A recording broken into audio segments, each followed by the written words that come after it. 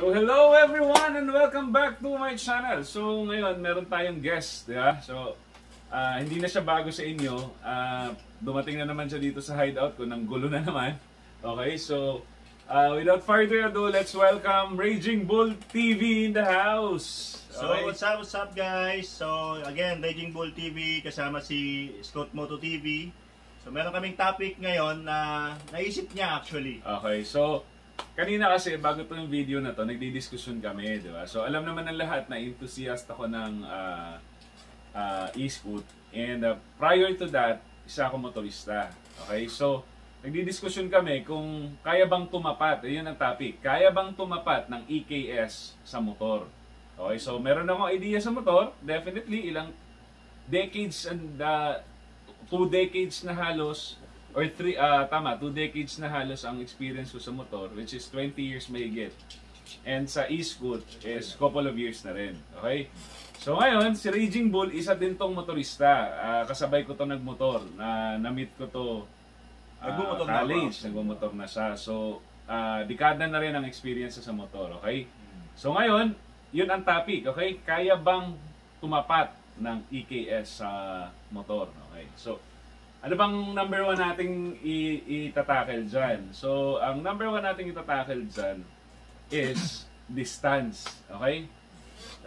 Gaano ba kalayo inaabot ng motor, ah, Raging Bull? Sa motor, depende. Ah, normally, ang motor, umaabot siya ng 100 ang- kilometers. Ang per liter ng motor, ilan? Eh sa'yo, ilan ba per liter mo? Ah, kasi sa akin yung scooter ko, 6.4 liters. So, kung non-stop na ride, malayo yun. I- ibig sabihin, ah, gaano kalayo ang isang litro mo?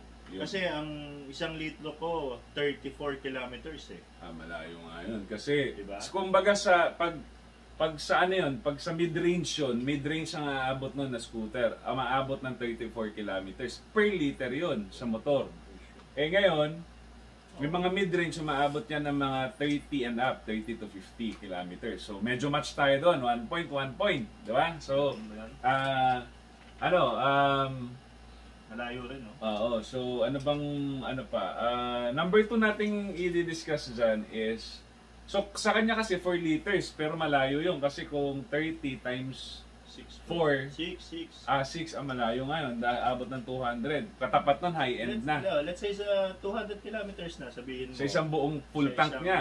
Full tank, pwede ako, So abot kang 200 kilometers pwede ako medyo mag-reach ng 200 kilometers. Oh, ang ang katapat na nun is high-end na unit, Oo. 'di ba? High-end na unit ng e-scoot which is matataas na talaga. Tsaka may, iba medyo naka-battery extender na 'yon. Mostly naka-battery extender na. pa- Para din palang vape yan, may extender ng battery. Oo, pare. Ma ano yan, magbigat din yung yun. e-scoot. Wala din kasi akong idea actually sa e-scoot. Oo, yan ang maganda. Kaya, Diba? kaya So, nag-discuss kami. Kaya ako nabanggit na para rin palang vape kasi yung vape minsan may extender ng battery, di ba? Para magtagal yung ano niya, di ba? Oo. so, kaya nagdi-discuss kami about doon. Ngayon, ang sunod na topic is durability. Ah, durability. Ayun. So, durability, ayan, medyo ah, aminin ko yan kasi kung durability, syempre number one, hindi pwedeng maulanan si e-scoot, di ba? May mga nakiklaim dyan na company na ang sabi is pwedeng maulanan, which is wala pa talagang totally unit na as in ah, waterproof, okay? Pwede siya sa mga light, light, ano, na ulan, mga ambon-ambon, pero na totally talaga sasabihin mo katulad ng motor na pwede mo siyang ah, isugod sa ulan. Rain or shine. Diba? Ang motor, rain or shine eh. Oh, yun. Ah, ang motor nga, mas durable pa minsan kaysa dun sa rider, di ba? Ah. ang rider nagkakasakit eh, pero ang motor maulanan, maarawan, di ba? yan lang. So, ano tayo doon? Talo tayo doon. At 2-1 na tayo. 2-1. Okay? So, availability ng pyesa. Pangatlo. Oh, depende sa brand. Oo. Depende sa brand. Ah, usually kasi pag sa motor, marami ng aftermarket na mga parts eh dito sa Pinas. Pero depende pa rin sa brand ng motor. Oo. Usually pagka yung mga hindi na tayo magne-name drop ng mga brand ng motor, yung mga ano, common, Common na motor. common na brand ng motor. Mga Big Four. Yung, mga, Big Four yan. yes, aftermarket niyan, makakakuha na kayo ng mga parts niyan. Ah. kahit saan, everywhere. Online, si- may mga nagbebenta na dyan. So sa mga moto moto shops, marami na mga parts dyan. Mm. Ganon. Hindi ko lang alam kung sa e-scoot. Ah, okay. So sa diba? e-scoot naman, yes, parehas lang actually. Ah ah, kung kung common yung e-scoot mo, I mean, sa e-scoot kasi kailangan talaga may shop. Pag bumili ka, may shop. Kasi sobrang mas marami pa ang variant pre ng e-scoot kaysa motor. Ah, ganun ba yun? Oo. So, sobrang daming variant ng e-scoot. Ah, kasi syempre may mga nagbebenta sa online, di ba? Mm. minsan pinapadala sa kanila mga sa mga, o mga online marketers mar, kaya do kaya ang dami niyan pero yung may Mm. mga shop na e-scoot bilang lang kaya halos parehas lang match lang doon match lang kumbaga, yung limited, part na doon limited pa lang ang mga shops Oo. ng e-scoot. Unlike sa motor kasi sobrang dami na talaga ng Oo. shops na motor. so match tayo doon so 2-3 na 2-3 naiwan tayo ng isang points ngayon ang pang-apat nating topic is um, pricing ng pyesa Ah, pricing ng pyesa. Pricing ng pyesa, depende. gulong mo magkano gulong mo Kasi depende kung sa kung kung ano ka eh, kung ang gusto mo talaga is branded ba. Hindi. o- Oh, let's say Diba? yung common na lang na ano, ah, ano bang napalitan mo na sa motor?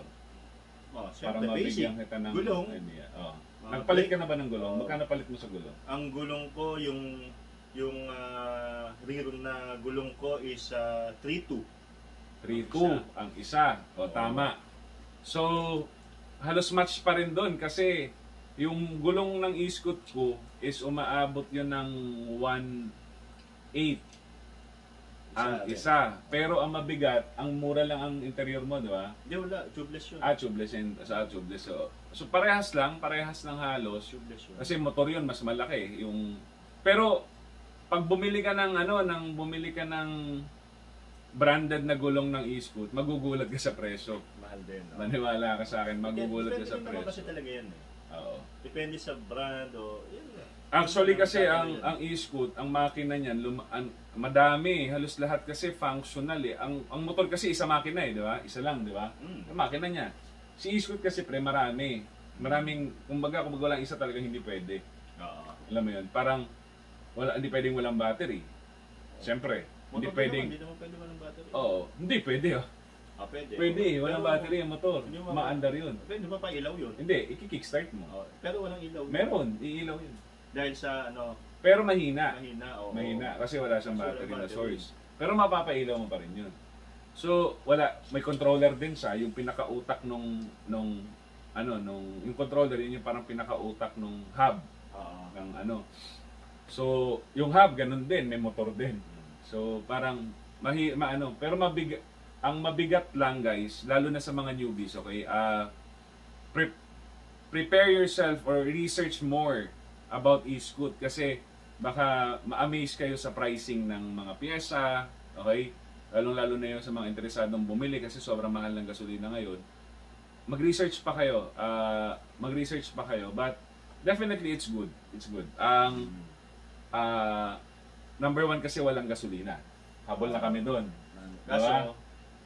kuryente naman. Oo, pero ang ibig kong sabihin, sa- lalo na ngayon na napakamahal ng gasolina, 77, 76, mas mahal pa diesel ngayon eh. Oo, mas mahal ang Diba? diesel ngayon. So, advantage na kami doon. Parang lamang na kami doon. Ang nang ginagawa naman yan ng mga iba, nagba-battery extender, pre. Oo. Kaya halimbawa, aabutin sila ng, let's say, ang max nila na layo, 50 lang. Ginagawa nila, bumibi, nagpapaset up sila ng battery, isang battery pa ulit. Para another 50 Para- kilometers. oo. Okay. So, So, pwede ma, ano yan, no? Pwedeng ah, ma-invento yan na solar, no? Bakit hindi solar? Actually, iniisip na namin yan nung isang tropa ko sa Pwede eh. shop. May, na, may Solar- meron na kaming power, di ba? meron na kaming kinausap na may nakausap ako. Naalala mo yung installer ng solar sa inyo? Mm. Ayun, Kaya hindi lang- na, ano eh, kaya ako na Oo. open eh, di ba? May meron kasi kaming ano guys, meron akong na-meet na veteranong nagkakabit ng solar, Mm. tapos nakita niya yung e-scoot ko. Tinanong niya yung mekanismo. Eh magaling yun sa syempre sa electronics and eh, ano. Ah, may idea siya kaagad. Sabi niya, pwedeng i-solar yan. Hindi lang namin natuloy yung discussion kasi nag-work siya sa Manila eh. So, hindi rin ako nakabisita sa shop. Ah, Doon ko na-meet sa ano nila, ano pala, shout out pala kay Urban Wings. Urban Wings Sound. Mun, uh, yeah, South, Man, uh, Muntinlupa, saka CAA. Oo. Tapos, ayun, so hindi natuloy. But anyway, going back, ano na kami, ah, sa parts at sa price, halos match, di ba? So, 4-3 na. Ngayon, yung sinabi kong isa is about sa sa tipid. Mas matipid tayo kasi wala tayong ginagastos na gasolina, di ba? Kaya lang, maintenance, maintenance, maintenance. Ah, maintenance, halos motor din. Kailangan ding kailangan ding pinipreventive maintenance din siya. Maintenance. Kailangan ah nag parang sa motor, 'di ba? Change oil ka. Oo. Meron din yan. Meron din. Oo, ang ang ang ang e-scoot naman pre, kailangan mong ipa-check ang ano, ang mga battery mo, baka mamaya hindi na full. Let's say ang full charge mo 67 point something, 0.5. Minsan pumapalo na lang ng 65, 64. Pagka ganun na, magpa-check ka na ng battery. Oo. At saka yung takbo mo, halimbawa, normally, nor- na normal mong takbo pag ang unit mo ah, mid-range, nakakatakbo ka ng mga let's say 50 kilometers. Tapos minsan di ka na umaabot, mga 40 ka na lang, 30 ka na lang. Huwag mo nang paabutin doon, kailangan prior na dumating doon, ma-check na. Ma-check yung mga connections, ma-check yung battery cell, ma-check yung health ng battery, yung mga ganun. Maintenance din. Alaga So, meron din. sa maintenance. Oo, Kahit meron. lahat naman eh, sasakyan, sasakyan, motor, Oo. or whatsoever. So match na tayo, ha? Match na. So, ah top speed, yan. Magandang topic yan, top speed. Top speed, siyempre, depende pa rin yan sa gamit na motor. Hindi. Oo, depende kung may 125, 150, ah, 150cc, 155cc, 170 or 200. Pero kung sa ano ano mo ngayon, 125 ka ba? 125 no? Ah, 125. Ano top speed mo sa 125? 120. 120. Ako sa sa ano ko sa sniper ko maabot yun ng top speed nun mahigit na mga 120 130 pero hindi ka maabot doon pre para ka ng ano Pag nun. sinagad mo lang sa freeway, Oo, pag talagang sagaran mo, kayang umabot noon, mga 130, 125. Pero, hindi mo ba alam na may umaabot ng ganun kabilis na e-scoot? mm, meron din pala. No? Oo, pre, meron. Ah, kung napanood mo si nakalimutan ko ang pangalan yung iniwan niya sa ano sa stoplight. Ah, Pero medyo high-end na yon, high-end na ang gamit nun. Um, hindi na sa pinaka high-end na level na hindi ko na lang babanggitin yung brand na na e-scoot ang gamit nun. As, as in high grade talaga siya. So, match pa rin. Di ba? Match pa rin. Kaya lang, in reality, hindi ka tumatakbo ng ganun. oo. Di ba? Hindi ka, Saka, kahit sa motor. nyo- guys, unahin nyo lagi yung safety. Safety, Safety, nyo, tsaka nung mga nakakasabay nyo sa kalsada, tsaka sa kalye. Hindi naman pwede nga magmabilis-mabilis ka lang dyan eh. Hindi naman it's all about the speed. Oo. Di ba? Yes. Number one pa rin yung safety precautions So, natin. sa amin, lalo na sa akin, yung unit ko, ah, high, ano na yon high-end na unit din yun. Ah, ang kaya nun is 90 actually. More than that. Pag talagang sinagad mo, pero hindi ka aabot doon. Kasi iba yung motor, pre. Mababa, since mababa yung, maliit yung gulong, mababa yung clearance sa ground.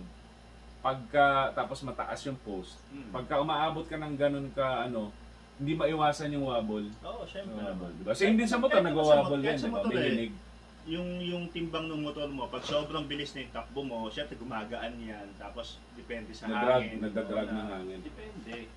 So, kaya ganun nga, hindi mo naman pwedeng patakbuhin lagi ng mabilis yan unless na karirista ka na, doon ka sa racing track, di ba? Ah, Diba? Pagka nasa daily ride ka, lagi mong ano yung safety. ah. so, ayun. So, going back, 5-5 na yung score. As 5 ba o 6-6 na?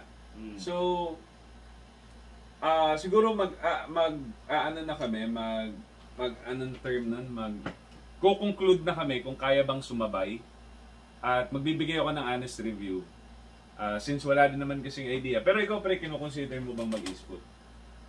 So far siguro, ah, open ako dyan. Siyempre, ah, curiosity, di ba? Ah. At marunong din naman ako. Na, alam mo ba yung sinaunang scooter nung araw?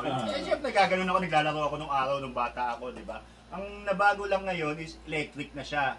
So, hindi mo na papadyak-padyakin ng paa mo ngayon. So, bala- balancing, sa pagbabalance, marunong naman tayo niyan. So, pwede ko siya i-consider as a hobby, Okay. di ba? Okay. Pwede, why not? Oo. Open tayo dyan. Do ako kasi talaga, eh, honestly, nagsasakyan pa rin ako, nag, nag, mumotor ako, nag, anong tawag dyan, i-scoot pa rin ako. Pero, ang akin din talaga is more on hobby to, ano eh, ah, commute. Pero, pag malayuan talaga, motor. Kasi, I, I can really depend on motorcycle than e-scoot. That's my honest review. Tama. Okay, as a motorista and as an enthusiast ng EKS. Kasi nandun yung chance na, alam mo yun, pag abutan ka ng dilim, lalo na, hindi naman ako naka-battery extender. Ayo, sa e-scoot kasi pre, you have to plan the route. Mm. Yung route mo lang kailangan nakaplano kasi nga, didepende mo yun sa layo nung ay capacity ng battery mo eh.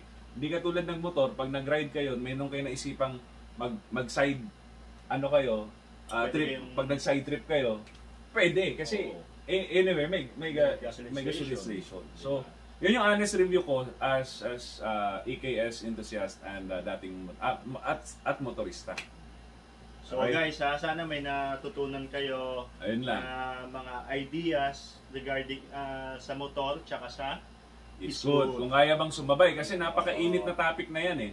Ah, but but my honest review as a motorista and as a, as a e-scoot enthusiast, yun yung honest review ko.